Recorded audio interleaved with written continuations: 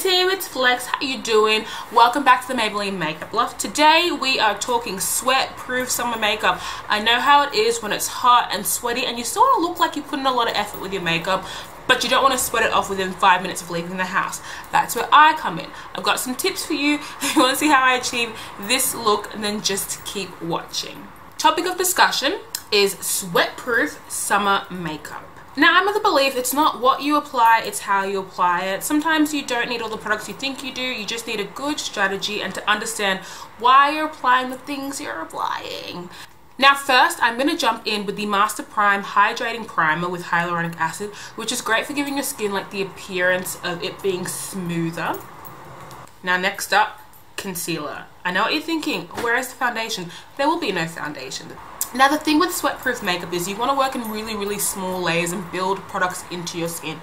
I find that in summer you're already sweating and building, you know, primer on top of foundation, on top of concealer. It's just a lot of product and you can't guarantee the staying power. So let's focus on how we apply products, not how much of it we apply. So concealer, I'm using the Instant Age Rewind in the shade Caramel. And that's just going under my eyes. The tip here, as I said before, is to build in small layers. Don't apply a ton of product and work from there. Build, build, build in small layers. Make sure you just push things into your skin. Alright, so now that you've got your concealer laid down, you're looking fresh, fabulous. Of course, there are still imperfections and flaws shining through.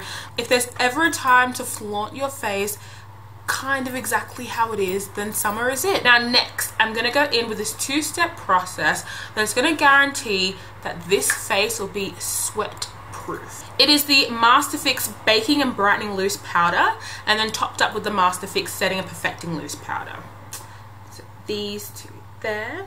First I'm going to bake. Baking was one of those very popular things about a year or two ago. Essentially it's applying a yellowy powder to your skin, to your T-zone where you would get oiliest the most, allowing it to sit there, bake, and absorb the oils from your skin. You dust that off and then you put on your actual face setting powder.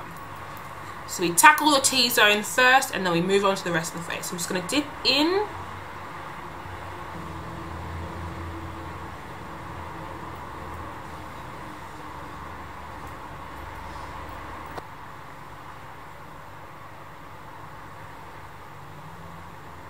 And there definitely was a time where people were afraid of applying powder this thickly to their skin because they were worried about it flashing back white in photos.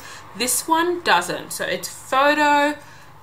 This one doesn't flash back. So it's, you know, flash photography friendly. See, the thing about sweat-proof makeup is to think about the products that you can put on your skin that won't run down your face at the first sight of perspiration.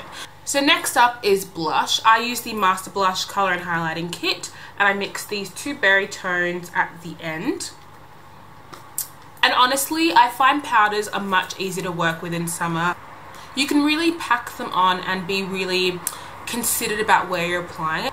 I just find that cream products can get a little bit messy when you start to sweat and all of a sudden you put your blush here but now it's down in your jaw and like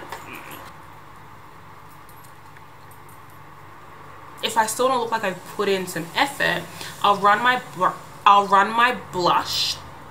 I'll run my brush that has blush on it over my eyes and just adding a little bit of warmth and gives the illusion that I have you know, put in some extra effort. Last and most important step is highlighter. You know me, I live by Master Chrome in Molten Gold.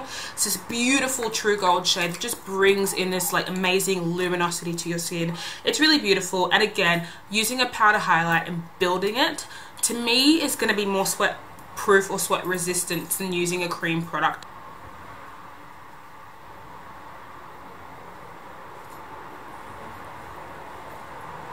And that is my sweat-proof summer makeup. As always, thank you so much for watching. If you like what you see, then make sure you subscribe, like, and leave a comment.